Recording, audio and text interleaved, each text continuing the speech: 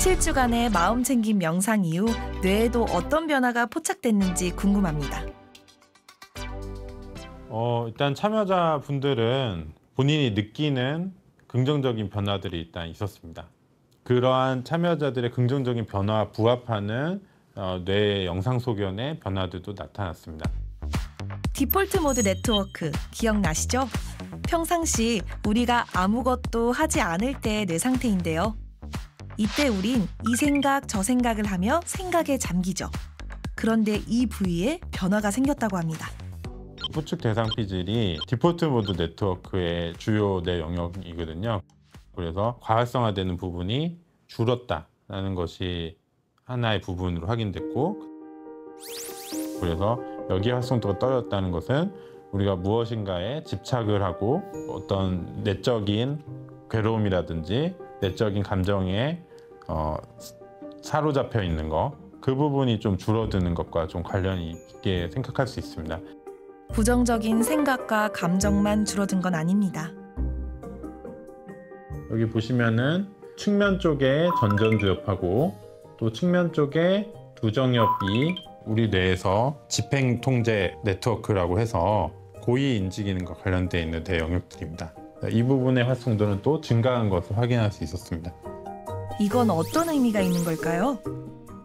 이런 부분들이 나타났다는 것은 기본적으로 우리가 회피하지 않고 그런 것들을 직면하고 대처할 수 있는 강한 어떤 심리적인 힘, 스트레스에 대한 대처할 수 있는 힘이 모두 강해졌다라는 것을 의미합니다.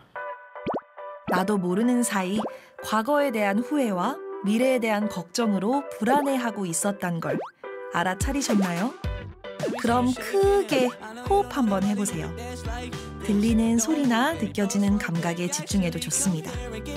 지금 여기 내 상태를 알아차리는 것만으로도 우리는 조금씩 달라질 수 있으니까요. 사람들이 잠깐 멈춤이라는 거. 이런 명상이 잠깐 하루에 10분? 그게 뭐가 대단해? 뭐가 바뀔까라고 생각하지만 바뀌는 것 같아요. 제가 이 명상 프로젝트를 시작하기 전이랑 후랑 제 인생의 그런 여건들이 바뀐 건 아무것도, 없, 아무것도 없거든요.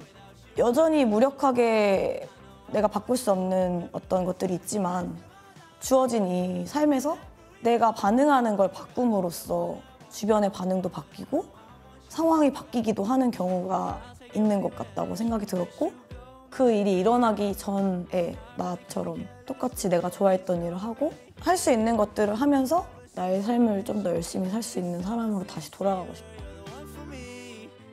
저는 또 이제 다이빙 하러 가야죠.